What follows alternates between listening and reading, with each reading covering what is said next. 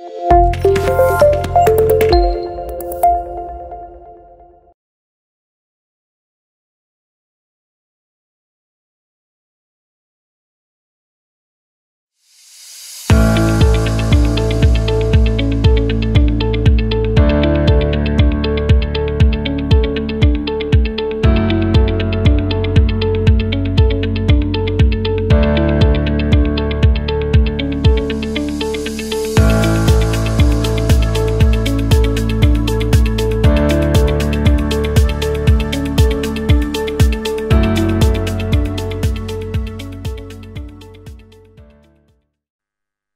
have our Honorable Chief Guest, Honorable Vice Chancellor of PJTSAU, Dr. Praveen Rao Garu.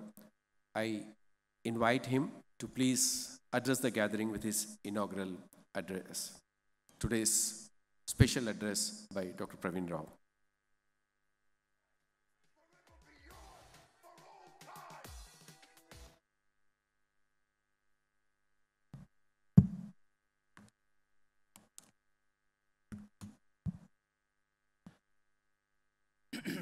Good evening, uh, all the distinguished uh, delegates. Let me first uh, convey my thanks to the BIPA executive, Dr. K.R.K. Reddy, Dr. Venkatesh, Dr. Peter, Dr. Lakshminarayana, Dr. Sudha Reddy, Mr. Srinivas Square, Dr. Garu, Dr. Reddy Garu, other uh, participants, ladies and gentlemen, very good afternoon. I think after uh, Rattan Lalji has spoken, uh, I think there will be little left out. I will try to connect the dots, okay, giving some local uh, flavor. It has been um, a happy moment for us for the last maybe six or seven months. We heard him for at least not less than a score of times. Uh, for, uh, he's speaking for the Indian delegates. Actually, he's also again participating in our uh, uh, next month uh, uh, International Agronomy Congress. We also have in that the president of American Society of Agronomy, Crop Science Society of America president, uh, founder president of Precision Agriculture. All these we are bringing together. CIMMYT, DG. So all these people we are trying to bring them next month here to Hyderabad.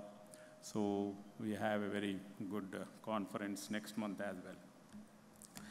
Now, uh, coming back to the topic, basically I am a waterman, but I'm happy to see that uh, Rattan Lalji was mentioning about drip fertigation as well. Okay, so which has been my core work for the last uh, 30 years or so. I was wondering, when they invited me, knowing very well my background, I was really wondering what to uh, speak. I had to do some homework to really uh, speak here. Uh, as all of you know, as he rightly mentioned, that uh, we started from ship to mouth and uh, where we are today, all of you know. And uh, one statement I want to make, though people speak uh, of uh, environmental degradation, greenhouse gases, uh, soil degradation, water insecurity, poverty and all that. But I am of a firm believer that in the world today, there is no success story which is parallel to India as on today. Let me be very clear on that. Whatever uh, anybody has an opinion, for the law, there is no parallel success story with regards to agriculture, what India has achieved today uh, as compared to uh, any other part of the world. That is one thing. That was the need at that time, so we have, uh, uh, so what you call, done that. Now, today, uh, let me say some of the practical aspects. I don't know how many of you have heard about the ecosystem services. Can you raise your hands who has heard about ecosystem services? No. So then I think uh, all of you are disconnected with the soil, disconnected with the bio inputs. When you don't know about the ecosystem services, how you can uh, meet the needs of the soil. He was actually mentioning about ecosystem services. All what he was mentioning is about the ecosystem services. Let me give you an example. If somebody puts me in a forest, nobody is there. I am just alone. Whether I will survive or I will die. I will certainly survive. Forest will take care of me. It provides me fruits, it provides me food, it provides me water, it provides me shade, everything it provides me. That is an ecosystem service. So, in agriculture today, we have disregarded these ecosystem services. All whatever, all the inputs, whatever you are going to give to the farmer, are basically to enhance the ecosystem services. There are four types of services, what we call it as provisioning, uh, what you call services, that is food, fiber, say what you call all this. Then we have regulating services. He was talking about pollination, he was talking about uh, water uh, harvesting, he was talking about uh, enhancing the soil resilience, he was talking about nutrient uh, cycling, he was talking about pest regulation. So all these fall under these ecosystem services. So when you apply your bio inputs, we enhance the ecosystem. This is one thing which probably uh, you have to look into uh, very uh, seriously. That is one aspect. Then the other one is, he has only mentioned about, uh, I was writing down, he was uh, mentioning about only human food and, uh, say what you call, uh, soil nexus. But I will go a, a step beyond. I will go a step beyond because I am talking to farmers every day. There is a need today to all of you, if you want to further your businesses, to demystify the food agriculture environment nexus. Today, you talk of all, say what you call soil is getting degraded, soil uh, is, uh, uh, say what you call, we are applying fertilizers, the poisoning the soil, and so on and so forth. So, no, ev- every day today we look at in isolation. That means due to eating this particular food, we are affecting the health, we are affecting so on and so forth. So, another thing is demystifying the soil, agriculture, food, and environment nexus. This is another one. Then number three is there is a need for promoting, say, sustainable food, uh, say what you call uh, um, ecosystems uh, talk in the uh, society, in the public uh, discourse. This is another aspect which we need to uh, look at. Now, having said this, looking at our agriculture, looking at our sustainable food systems, we talk of today organic farming, we talk of today conservation agriculture, we talk of today, say, what you call natural farming. We talk of today all the other aspects.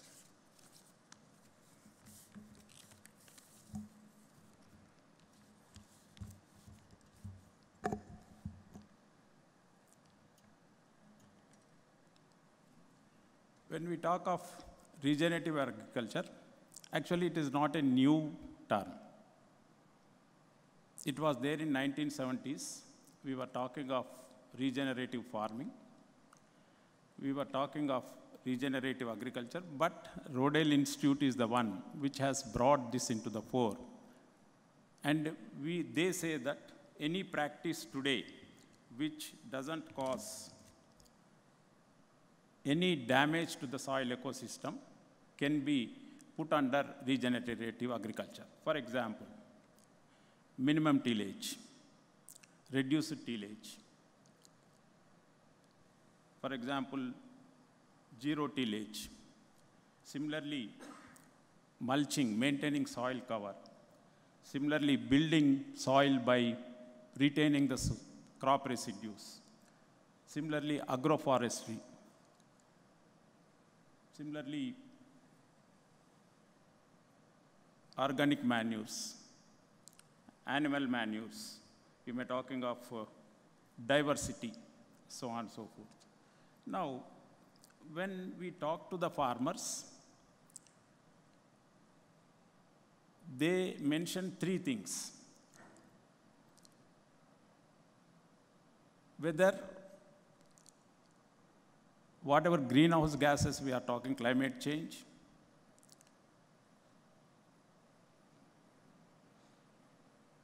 whatever we are talking of environmental degradation, he is not bothered.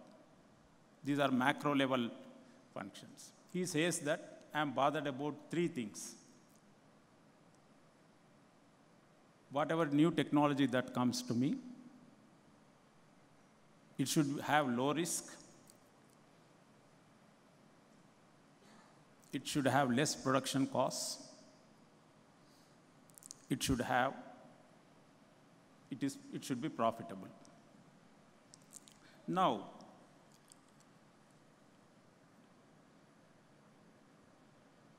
recently when we were analyzing some of these practices, we categorized all the practices into three components. What we call it as efficiency, substitution, and redesigning. Why today intercropping, split application of fertilizers is very popular among the farmers? Why farm pond technology? Why cover crops? Why regenerative agricultural practices are not popular among the farmers? Because you need a redesigning of the system. If you want to apply fertilizer in an organic farming system, I was discussing with the farmers. They said, Sir, fine, you are asking me to apply these organic manures. I relate it to the yield gaps.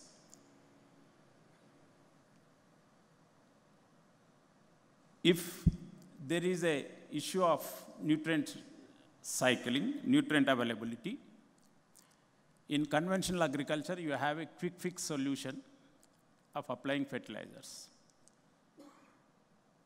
If you are talking of pesticides, if there is a pest, you have a quick fix solution of applying the pesticide.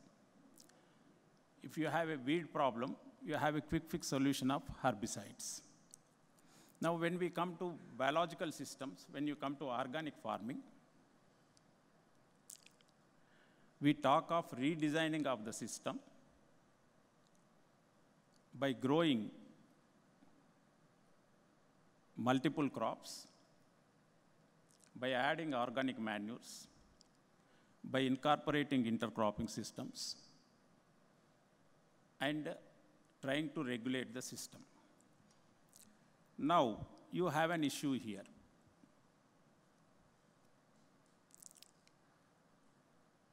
Crops have a pattern of nutrient demand which is in the bell shape. You apply organic manures. Mineralization has to take place. Nutrients have to be available to the crop, but they do not match. As a result of that, you have a nutrient limited yield. How to match this? Then similarly, reducing factors like pests, diseases, and weeds. You control them with the redesigning of the system. So when I, we asked them why you are not adopting these, he said that I have to change the entire design of my farm. How is it possible? It is not possible. If you ask me an intercropping, it will do. You go to Adilabad, farmers grow cotton, and if a cotton plant dies, he sows sorghum crop there. If a cotton plant dies, he, goes, he grows a green gram crop there. He doesn't put a cotton seed again. He grows a black gram there so that he can meet the entire food needs of his house. So these are the issues which we have to look at. And another important thing is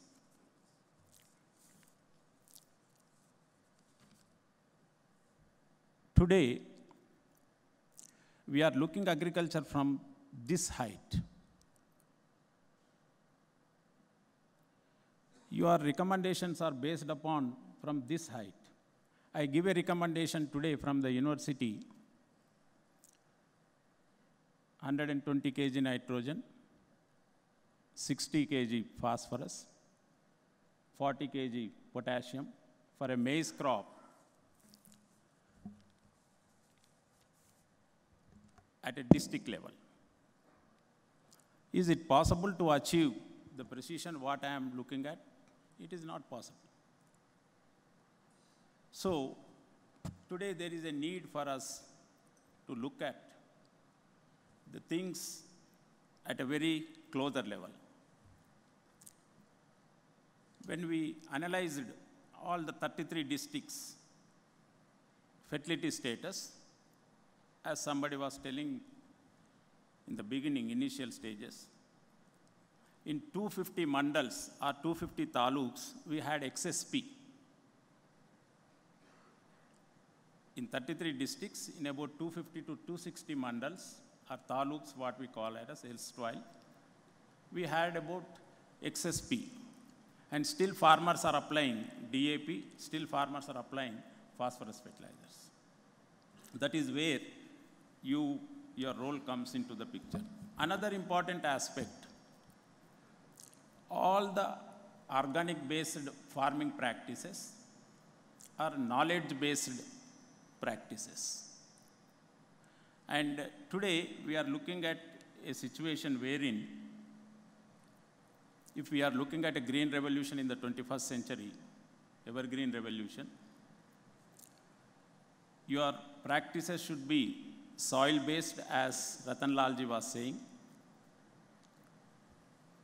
which enhance the soil health, which strengthen the biological mechanisms for nutrient recycling. They should be ecosystem based so that we enhance the entire ecosystem wherein we min- minimize the losses, enhance the use efficiency. Knowledge based, he was mentioning about using emerging technologies. Today, we are working with about 17 agri-tech startups, wherein one of the guy is working about few hundreds of farmers in Siddipet district. He has developed an uh, AI solution for giving the fertilizer recommendation, and farmers could reduce about two bags of urea in one season based upon his solution. So there is a need to look at all these technologies like uh, artificial intelligence. We are also working with the mapping of the soils, mapping of the pest, mapping of the diseases using drones. So that is another one. Then the next one is what we call it as law of returns. We should be, whatever we take out from the soil, we should be able to give it back. Whatever that alteration takes place, we should be able to respond to it wisely. We should be in a position to predict in advance using data, how to respond to that, and as well as we should be able to enhance the positive soil ecosystem carbon status as well. So these are all the issues which we are looking at just to say what you call, and uh, I believe that today we have come to a understanding at the university level. University alone cannot do anything. There is a need for public-private partnerships. There is a need for collaborations. And uh, another important aspect is in the entire agri-food value chain.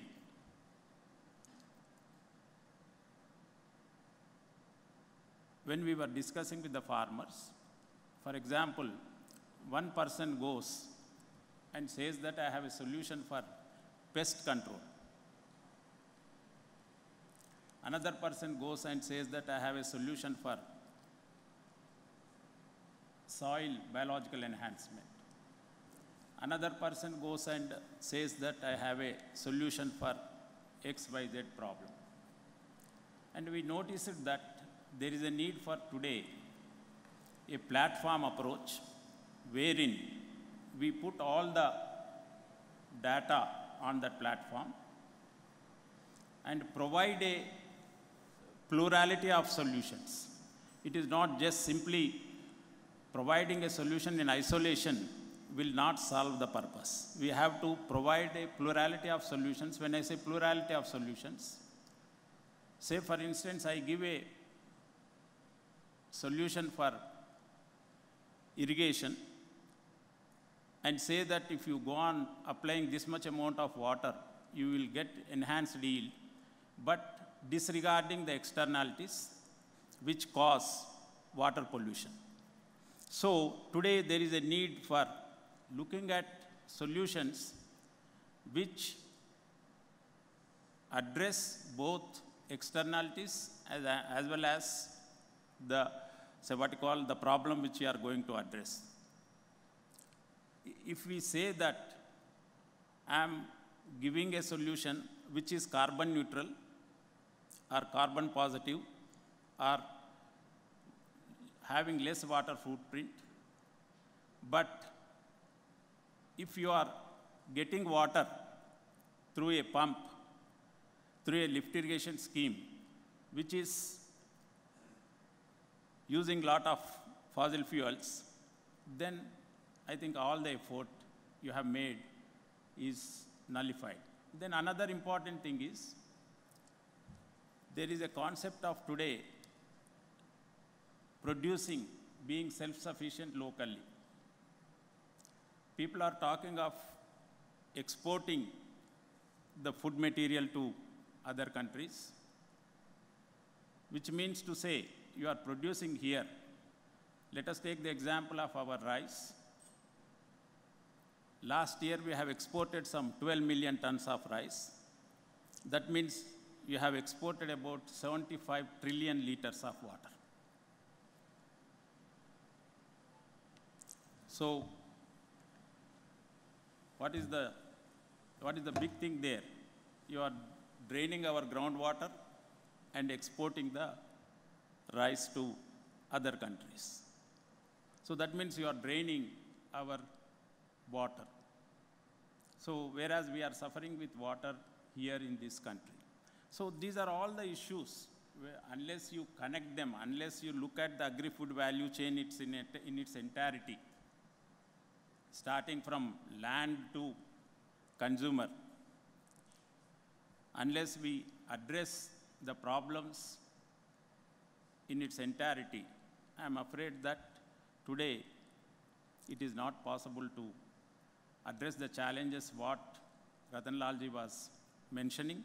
You talk of negative emission agriculture, you talk of uh, so biological uh, uh, enhancement of the biological cycles in the soil, you talk of ecosystem services, you talk of reducing the pesticides, you talk of reducing the fertilizers, all these have to be looked at in a agri-food value chain mode with a platform approach, with a plurality of solutions,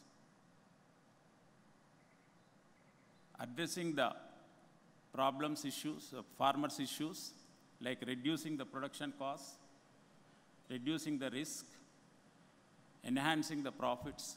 I'm afraid that it would not be possible to achieve whatever uh, we are looking for. So with these few words, I think that uh, it is not a, I haven't uh, done any, uh, what you call it as a keynote address, but I thought that some of the problems which uh, farmers are facing today, like uh, we talk of, uh, as I said in the beginning, that uh, unless we address the issue of ecosystem services, unless we address the knowledge uh, intensive, say what you call practices to demystify, I, I don't think it would be possible to reach the target what we are intended to reach. So with these few words, I thank the organizers for giving me this opportunity. I am not a, uh, what you call, uh, a biological specialist.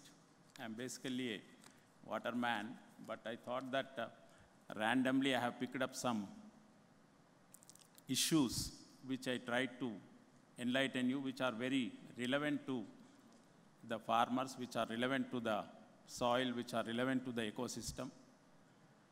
Thank you very much, one and all.